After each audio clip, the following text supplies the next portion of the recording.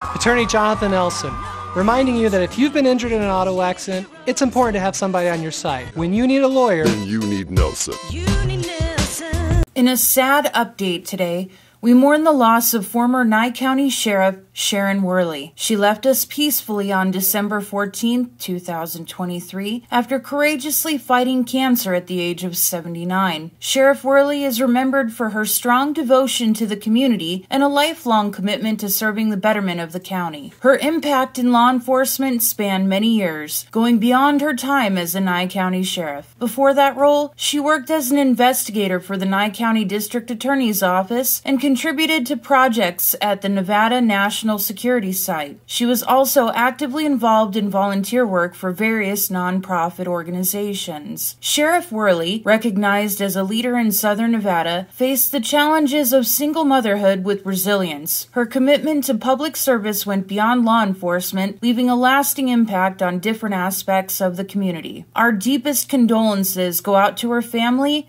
friends, and former colleagues. We encourage collective support, understanding, and gratitude for the profound impact she had on Nye County and the lives she touched. Details about a public service to honor Sheriff Sharon Wehrly will be shared by the family soon. As we remember the inspiration she brought to the community, let's all take a moment to honor the enduring legacy of her life.